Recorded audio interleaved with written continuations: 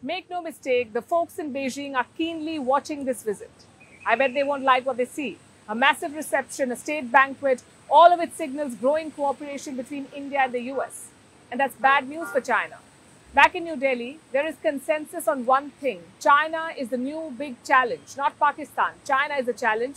Here in Washington, there is a similar consensus. China and not Russia is the chief rival now. So there is unity on that front. There may be difference on the approach, but the sentiment is the same. China means bad news. How is Beijing reacting to this consensus?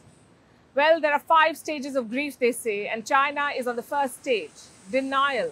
Their former foreign minister, Wang Yi, wrote an opinion piece this week. The headline sums up the story. This is what it says India's economic ties with the US cannot replace its trade with China. One question though is he telling this to the world or trying to convince himself? Now, Wang Yi is still a prominent figure in Beijing. When US Secretary of State Antony Blinken visited China, he had three meetings, and one of those meetings was with Wang Yi. So, what he says carries weight. It's not the musings of a former diplomat. Let me quote some important bits from what he has written. As feared by many Indian elites, Washington's vigorous efforts to strengthen economic and trade cooperation with India is primarily to slow down China's economic development.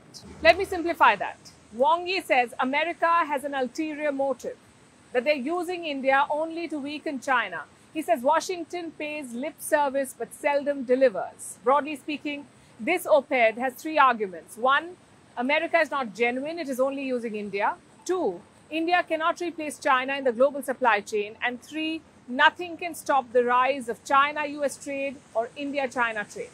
Now let's analyze these arguments. Is America really playing India? Well, if they are, the acting is top class, we have to say. It's up to Joe Biden to disprove Wang Yi's statement. India has made the leap of faith. The US needs to reciprocate with concrete moves. As for supply chain and trade, it's too early for that, really. Yes, bilateral trade is growing, but these things cannot change overnight, or for that matter, in one or two years. Realigning trade and supply is a long game, it takes years. The fact that India and the US are doing that, working towards that, has spooked Beijing. Wang Yi also has some advice for New Delhi. He says promote trade and cooperation with China. Well, why not? It's not like China tried to seize Indian territory or killed Indian soldiers, except they did exactly that. India's position on China has been clear.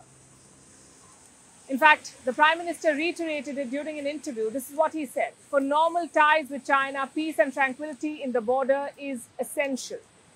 China doesn't seem to understand that. Their proposal is this forget the border, let's increase trade.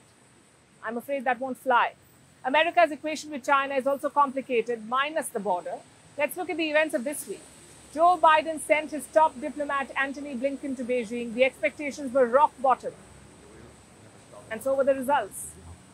It was actually classic Cold War playbook. Both sides agreed to stabilize relations, but they did nothing to actually implement that. In fact, Biden may be doing the opposite.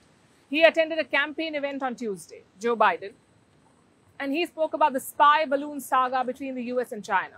And while doing that, he called Xi Jinping a dictator. He said Xi was embarrassed because he didn't know where the balloon was. Needless to say, China is not happy. Their foreign ministry has called it absurd and irresponsible. The relevant remarks by the US side are extremely absurd, irresponsible, and seriously violate basic facts, diplomatic protocol, and China's political dignity. They are an open political provocation. China is strongly dissatisfied with and firmly opposed to this. Question to China though What do you call an unelected leader who has appointed himself for life? If not a dictator, then what? Biden and Modi will have to figure that out. China may not be the only issue on the agenda, but it's an important and urgent one. Something that even voters in both countries realize, which is why Biden said that he did what he did rather at, the campaign event. He called Xi a dictator. New Delhi and Washington will have to figure out a roadmap. What will the US India plan against China look like? Is it purely economic? Is it purely strategic? Is it a mix of the two? Let's see if tomorrow's bilateral gives us some answers to these questions.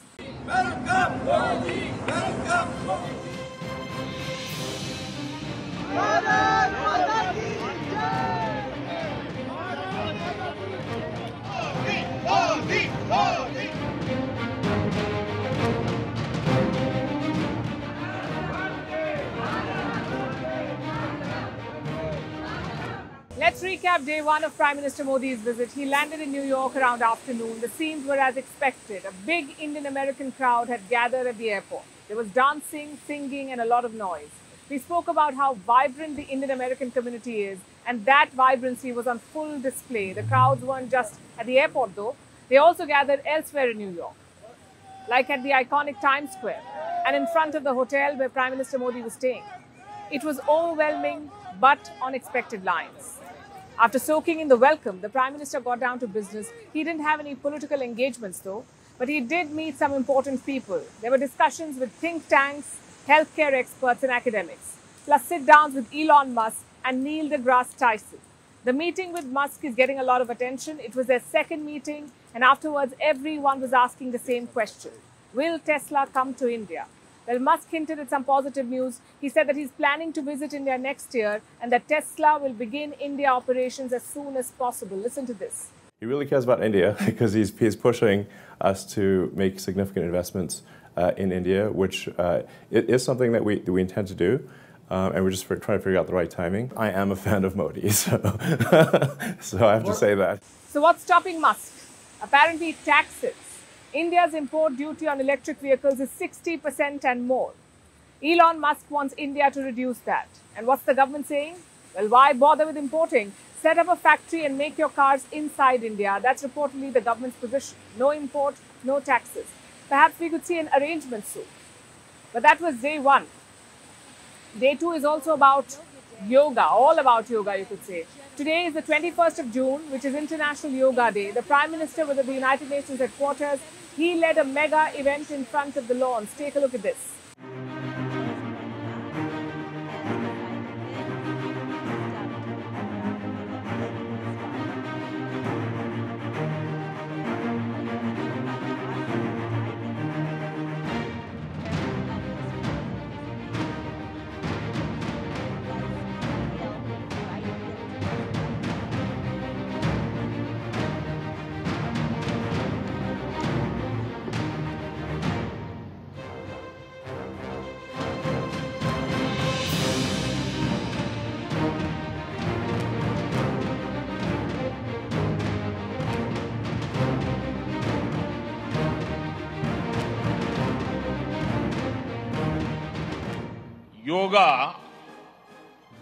Free from copyright.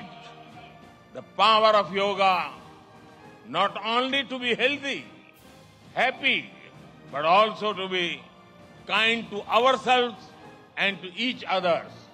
Let us use the power of yoga to build bridges of friendship, a peaceful world, and a cleaner, greener, and sustainable future.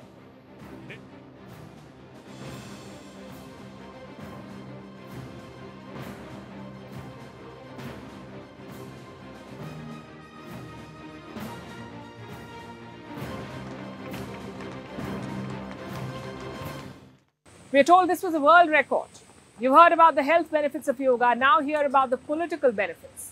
Yoga is India's gift to the world. It's a major soft power tool. Prime Minister Modi recognized this early on in his term. In 2014, he addressed the United Nations General Assembly for the first time. This was his message on yoga. योग केवल व्यायाम भर न होकर अपने आप से तथा विश्व व प्रकृति के साथ तादात्म्य को प्राप्त करने का माध्यम है। आइए हम एक अंतर्राष्ट्रीय योग दिवस को आरंभ करने की दिशा में कार्य करें।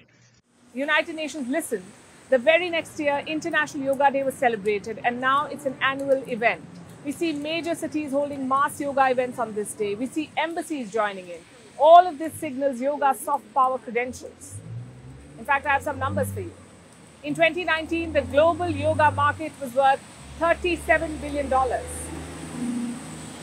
We're talking about a wide range of things like yoga mats, online classes, studios. All of this made up $37 billion. By 2027, it is expected to reach 66 billion. That's a growth of 9% per year. Here in the US, it's a big hit there are more than 48,000 yoga studios and Pilates studios across the country. Plus, I'm sure a lot of online ones. How does this growth help India? For starters, familiarity. Through yoga, a lot of people will learn about India, our ancient practices, our culture, and of course, our core beliefs. Think of it as an introductory course to the country. The Prime Minister talked about this today. He linked yoga to New Delhi's emerging worldview. Listen to this. Yujjate etad इति योग। अर्थात जो जोड़ता है, वो योग है। इसलिए योग का ये प्रसार, उस विचार का विस्तार है, जो पूरे संसार को एक परिवार के रूप में समाहित करता है। योग के विस्तार का अर्थ है वसुधैव कुटुंबकम की भावना का विस्तार Vasudhaiva Kutumbakam means the world is one family. It's also the slogan of India's G20 presidency. So yoga can export Indian culture and worldview to other countries. There are material gains too, like yoga tourism. When people learn about yoga, they will want to visit the place of its origin to see how yoga is practiced in India. Now it's hard to say how big this industry is, but I'll give you a ballpark idea. Global tourism is worth around $3 trillion, and around 14% of that is wellness tourism. Yoga would slot right into that. The event at the United Nations headquarters is all about visibility. Most people already know about yoga. Today's event was for those who did not. With that, the Prime Minister's New York leg came to an end. His next step is here in Washington, D.C. We're expecting him to land in the next hour or so. And here, there is not much room for soft power. It's all about hard power, talks, and strategy, defense deals, and geopolitical challenges. And one country will dominate those talks India's northern neighbor and America's chief rival, China. So, this is what we have both celebrations and criticism, as you would expect with any major visit. And behind the scenes, some serious work is also being done. We've been telling you about the defense deals. They are on top of the agenda. The Americans are going all out. The stage was set over the last few weeks. Biden sent his biggest cabinet members to India the defense minister and the national security advisor in quick succession. Two weeks ago, Lloyd Austin landed in New Delhi. He's the US defense secretary. It's their version of a defense minister. He met with the Indian defense minister Rajnath Singh, and the two leaders agreed on a roadmap for defense cooperation. The U.S. India partnership is a cornerstone of a free and open Indo Pacific. And our deepening bonds show how tech technological innovation and growing military cooperation between two great powers can be a force for global good. And so on this visit, I'm pleased that we have taken new steps to strengthen our defense partnership. We established an ambitious new roadmap for defense industrial cooperation. Some two decades back, this would have sounded impossible. But today, it's all happening. It shows how far the India US relationship has come. On this visit, some major defense deals are expected. We'll be able to confirm the specifics only when the official announcement has been made, but we can tell you that there will be two broad parts to it jet engines and drones. I'll tell you about the jet engines first. A deal is in the works. It involves two companies America's General Electrics and India's Hindustan Aeronauticals Limited or HAL. Now, this is extremely significant because they're talking about joint production. GE will transfer its technology to HAL. HAL will use this technology to produce engines in India. These engines will then be used for our indigenous Tejas jets. How does it help India? Well, India wants to expand its domestic defense production, and this deal is going to help. It's a much needed boost for the industry. Also, a major shift in America's approach towards India. You see, such military technology is guarded by countries. It's a st- strategic asset. The Americans are very choosy about whom they share it with. And in the past, they've denied India access to critical tech, but now they're offering it, even pushing for it. And this shows how much they're ready to invest in the partnership. The other part of the defense deal is drones. India is looking to buy armed drones, around 30 MQ-9B Predator drones. They're manufactured by a company called General Atomics Aeronautical Systems Inc. We spoke to the CEO of that company. Dr. Vivek Lal on what they plan to do, which drones India wants to buy, and how soon they can be delivered. We'll bring you a part of that conversation in a bit. But first, let me tell you more about the deal. It is said to be worth $3 billion. The Defense Acquisition Council has approved it, so there's a good chance that this deal will be announced during this visit. India could get defense tech and drones. But that's not all. The US is also keen on the fighter jet program for the Navy and the Air Force. It's pushing Boeing Super, Boeing Super Hornets and the F 21s. Another key aspect is BECA. BECA, it stands for Basic Exchange and Cooperation Agreement. Both nations are expected to sign on certain clauses this time. And this pact, BECA, was first signed in the year 2020. It helps India get sensitive data from US military satellites, something that could help in the border standoff with China. So India is clearly getting a lot. But what's in it for the Americans? Well, two things. One is weaning India off dependence on Russian weapons, and two, countering China. India, remember, is the world's biggest importer of weapons. It depends on Russia for most of its military supplies. But the Ukraine war changed that. Moscow is preoccupied right now. New Delhi is still waiting for the delivery of two S 400 missile systems. So India wants to look at other options. And that's where the United States comes in. It seems like a perfect combination. In the past, though, it was far from perfect. For decades, India and the US had a frosty relationship, especially during the Cold War, even after that. Remember, during the Kargil War, India wanted GPS, the US said no. Same for nuclear submarines. India wanted them, Washington denied. In fact, until the year 2008, India US defense trade was negligible. Fast forward to 2020, it was over $20 billion. So clearly, the distrust is gone. Washington knows that it needs New Delhi, and defense ties have become crucial to this relationship. In fact, in an interview to the Wall Street Journal, Prime Minister Modi called the India US defense cooperation, quote unquote, an important pillar of partnership. Well, they're on the right trajectory. What they need is sustained engagement and the right mix of incentives. It could take this partnership to new heights. So the defense deal is making all the buzz, but there's another sector where the US and India are cooperating, and that's semiconductors or chips. They're often called the oil of the 21st century, the key to global domination. So it's no surprise that chips are a contested asset. The US and China are both trying to dominate this market. They're locked in what's called a chip war. As of today, Washington is leading the race, but China is catching up fast. Where does that leave India? Well, at a vantage point, we say, as a credible alternative to China and a reliable partner for the world. The US wants to move away, from China. It wants to make sure that Beijing doesn't get critical technology. It wants to build semiconductors with like minded countries, aka India. This is called friendshoring. Offshoring with friendly countries. That's friendshoring for you. And this is a big opportunity for India. Because irrespective of what the US wants, India has been pushing itself as an alternative to China. India does not have native semiconductor firms, so it's trying to woo foreign giants. And part of this push is a $10 billion incentive plan. It is aimed at boosting semiconductor manufacturing. And this works well for the US as well. America can support India as it tries to weaken China's chip industry. Again, this looks like a natural fit, and they've been at it for a while. In September last year, the Quad took up this issue.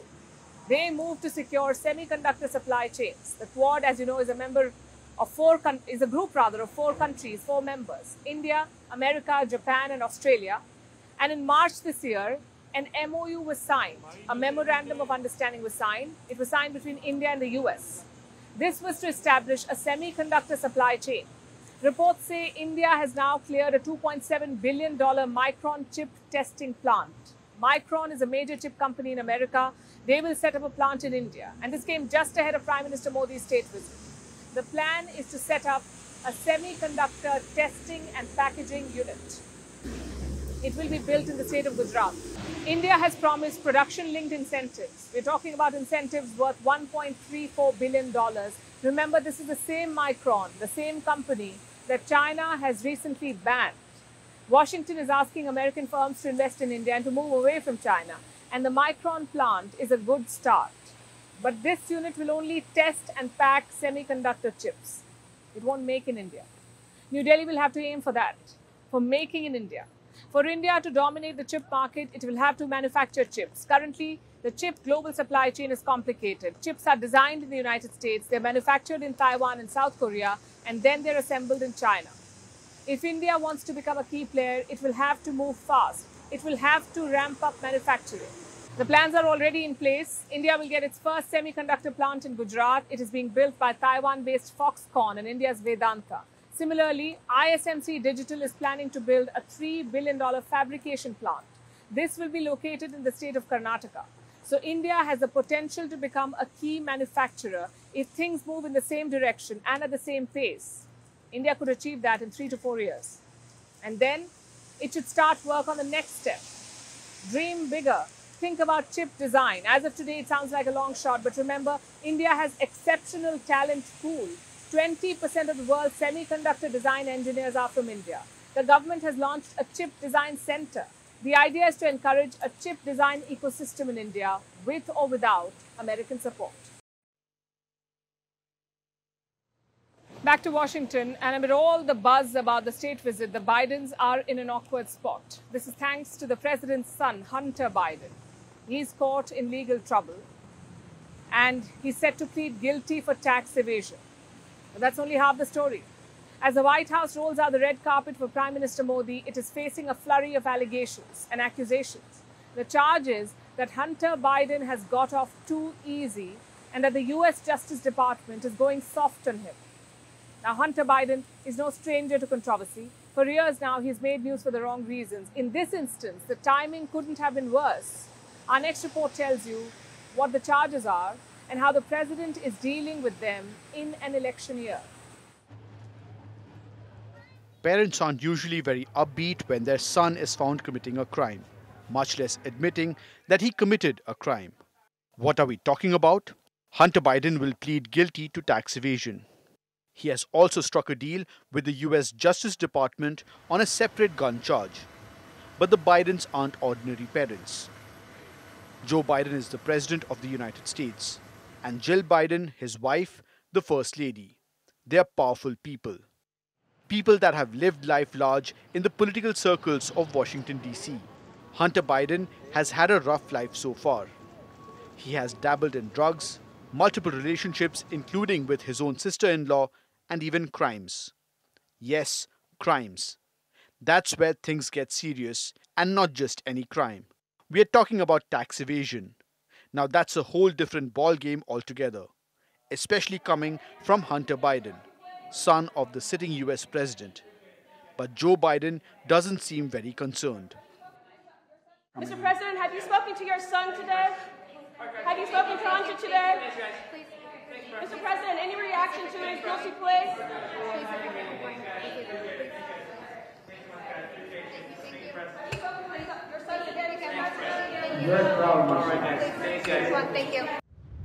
There's more. The White House has issued a short statement. It said the President and the First Lady love their son and support him as he continues to rebuild his life. We will have no further comment. Let's quickly tell you what the case against Hunter Biden is.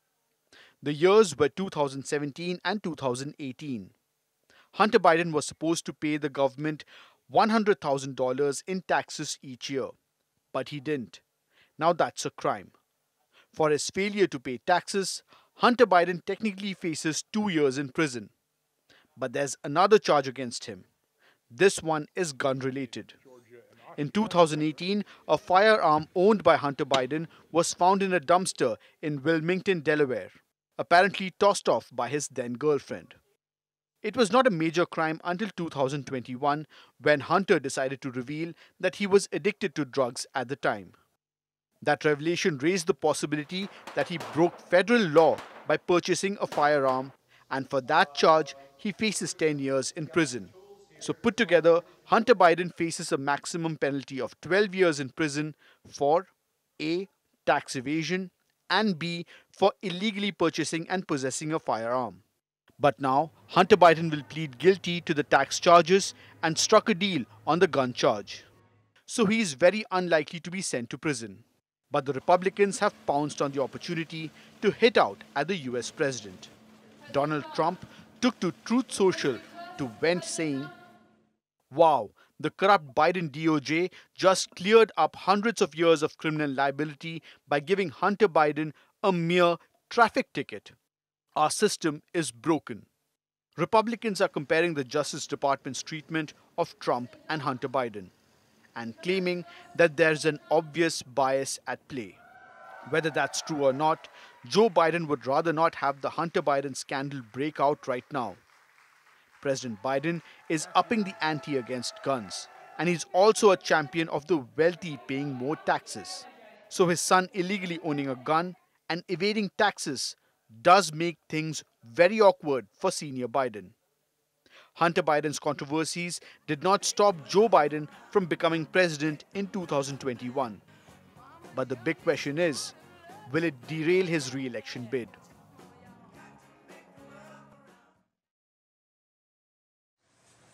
Before I begin the next story, brace yourself for some random facts about a seaport. But trust me, by the time I finish the story, it'll all make sense. We're talking about the port of Karachi. It is located in Pakistan. It first opened in the year 1857. And today it is the country's largest and busiest seaport. It handles about 25 million tons of cargo every year. That's about 60% of the nation's cargo. And this port is crucial, not just for Pakistan, but also for South Asia. It is one of the largest and busiest in the region. But why do you need to know all of this about the Karachi port? Because Pakistan is selling it. The country, as you know, is in crisis, in desperate need of money, so it is selling a key asset. The Pakistan government has drafted a five year agreement. They want to hand over four berths at the Karachi port. Do you know who the buyer is? The UAE, the United Arab Emirates. And this is not even the most interesting part. You have to see the pace of deal negotiations. They're moving at breakneck speed. A cabinet committee was set up, led by Finance Minister Ishaq Dar. It met with Abu Dhabi stakeholders this week, back to back meetings on Monday and Tuesday. They quickly finalized the framework agreement and pushed for a go ahead from the federal cabinet. As fast as that, it's only a matter of days now. A commercial deal is set to be signed in the next few days. Now, if you followed government contracts in general, you would know that these things take months, even years. So to have wrapped it up in just a few days is exceptional. Either the Pakistanis are very, very efficient or very desperate. I don't want to say which, but I'll tell you this. Pakistan is stuck in an economic vortex. The inflation rate has risen to about 38%. The cost of food is soaring and it's only worsened since last summer. Last summer is when Pakistan suffered devastating floods. They caused damages worth $30 billion, 30, 30 billion. The country is already buried under a pile of debt. It now faces the risk of default, meaning it may not be able to pay its EMIs on time. Pakistan had signed a bailout deal with the IMF in 2019, the Intermon International Monetary Fund. It was a deal worth $6.5 billion. This is the money that the IMF was supposed to give to Pakistan. But for this, Pakistan had to fulfill certain conditions. It did not. So bulk of the money has not come. And this deal is set to expire by the end of this month, in the next few days. Pakistan wants to revive it, but chances are dim. So selling the Karachi port may be a last-ditch attempt to raise some cash. And perhaps Islamabad saw this coming because last year their government passed a law. It's called the Intergovernmental Commercial Transactions Act. This law is aimed at selling state assets and fast tracking such sales to raise funds. The Karachi port deal is the first transaction under this law. But why the UAE? Because the UAE is Pakistan's third largest trading partner. The first two are China and the United States. Average annual trade between the two countries stands at $8 billion. It is also an ideal export destination for Pakistan because the distance between the two countries is not very much, so transportation costs are limited. Also, politically and financially, the UAE has supported Pakistan in the past. Hence this deal. But it only reflects the dire straits that the country is in. Selling state assets to raise cash is the last of the last resorts. It can be a dangerous trend for a rogue nuclear state. Our next story is about the Titanic, the doomed ocean liner. It was once the world's largest steamship. It was called unsinkable. But on the 15th of April 1912, it went down during its maiden voyage. 1,500 people on board were killed. Decades have passed since, but its mystique has endured. It is now considered one of history's most famous shipwrecks. People risk their lives to catch a glimpse of it, and last week, five people did just that. They sealed themselves inside a deep sea submarine. They embarked on a voyage. Except now, they've gone missing. It's a race against time to save them. Our next report tells you more. These are the last seen visuals of Titan, a tourist submarine. Last Sunday, it embarked on a voyage in the North Atlantic to the Titanic shipwreck. Titanic was the largest ship of its time. It hit an iceberg on its maiden voyage in 1912 and became the holy grail of undiscovered shipwrecks. Its wreckage was found on the seabed in 1985. Since then, it has been extensively explored. By the likes of OceanGate Expeditions, this is a tourist company. And it charges guests for $250,000 for an eight day expedition to the famous wreck, which sits over 12,000 feet beneath the surface. OceanGate submarine embarked on one such journey last week. With five people on board, including a British billionaire. The group was sealed inside the sub, external bolts locked them in. Soon after the dive, the submarine went missing. Contact was lost an hour and 45 minutes into the dive when the vessel was more than halfway down towards the wreck. Now, United States and Canadian rescue teams are scrambling to search for the submarine. Racing against time to find it. The vessel had a four day supply of oxygen on board. This means the vessel has less than 30 hours of oxygen supply left. So the rescuers are fighting against time. So far, they've been unsuccessful in finding the vessel, and things aren't optimistic. As explorers, we are pessimistic and objective. And as it stands right now, it would be a miracle if they are recovered alive. I think uh, they may be stuck at the bottom of the ocean. Perhaps there was a breach and water came in. I'm not very optimistic for their return, but uh, you know, it's it's a cliche, but it's true. If if this is the end for them, they went out doing something they loved. This mission is complex. There has been no communication from the vessel. Visibility is quickly lost below the surface because light cannot penetrate that far. And the area where the vessel was lost faced poor weather conditions. But undeterred, rescuers are working round the clock. Uh, the area that we search is, is roughly about the uh, size of uh, Connecticut. Uh, as we continue on with the search, uh, we're expanding our capabilities to be able to search uh, under the water as well. And so we have a, a commercial vessel that's on scene now that has remote operated vehicles that will give us the ability to search under the water as well. US and Canadian agencies, navies, and commercial deep sea firms are all helping the rescue operation. They've involved the use of military planes, a submarine, and sonar buoys. These are small marine buoys that are used to detect and locate submerged submarines. So, underwater acoustic research was conducted to locate the vessel. And today it proved to be a cause of hope. Rescuers heard noises in the area where the submarine went missing. Rescuers say they heard banging noises at 30 minute intervals.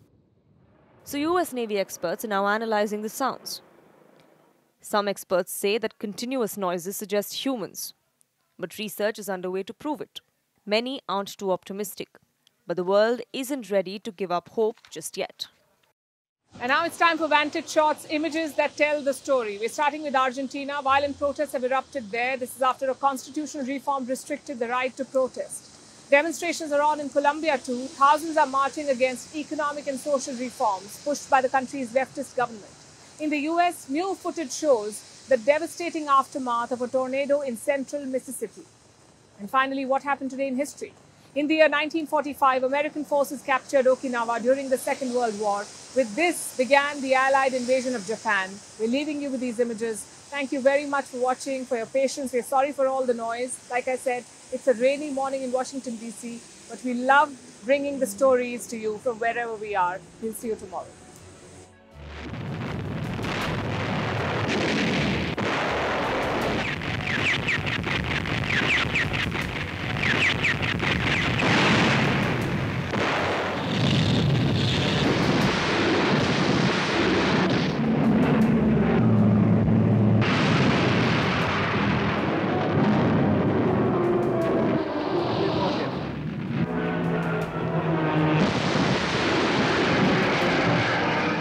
Bloodiest battle of the Pacific War has ended in victory for the Americans on Okinawa. 330 miles from the home islands of Japan, the stars and stripes are hoisted on this most vital strategic... Son bulones. Una situación completamente descontrolada. Escuchamos que hay respuesta de la Primero con dos gases lacrimógenos y ahora sí, la policía que avanza de goma y también han lanzado gran cantidad de manifestantes. Que cuarto auto y la policía intenta exactamente primero con primero con eh, gas. Miras a la policía ahí corren el portón abren el portón directamente. Entonces, rompelo no saques nada rompelo. Es impresionante no paran a avanzar